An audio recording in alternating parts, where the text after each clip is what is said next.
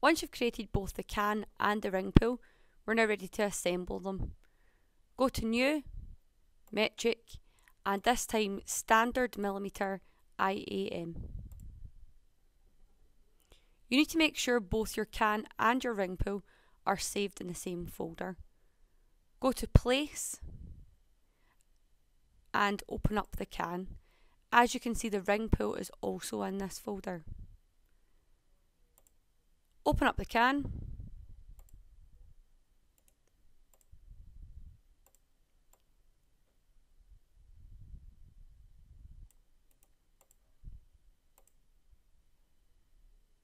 And now open up the ring pull.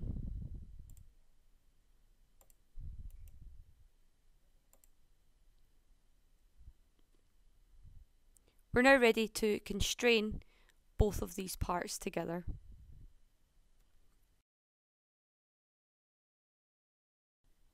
We are now ready to constrain the two components together.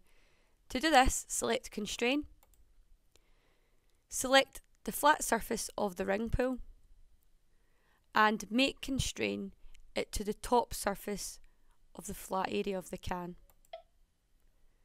and apply. The next step is to mate constraint the central axis of the hole with the central axis of the mushroom. If you cannot see the mushroom, click on cancel and move until you can see the cylinder at the bottom. Go back into constrain, select the central hole and you'll see the axis comes up in the middle of this cylinder. Constrain that to the cylinder here and apply.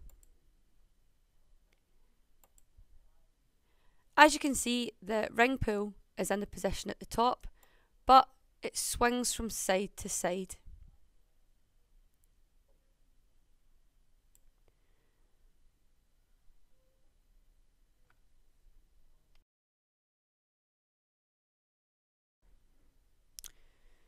Stop the ring pull from swinging from side to side, we have to use work planes. Open up the can by double clicking on it and go to origin and put on the X and Y plane.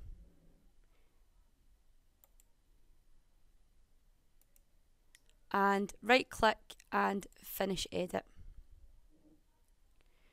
Double click the ring pull and do exactly the same thing go to Origin and ensure the X and Y plane is visible on the ring pull as well. Right click and finish sketch. We're now going to constrain the two work planes together. Select constrain, zoom in and select the X and Y work plane of the ring pull. Then select the work plane of the can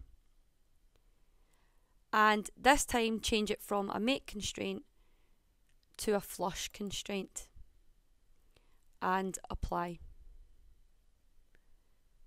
Once we come out of that, we then see that the ring pull is completely constrained and doesn't swing about anymore.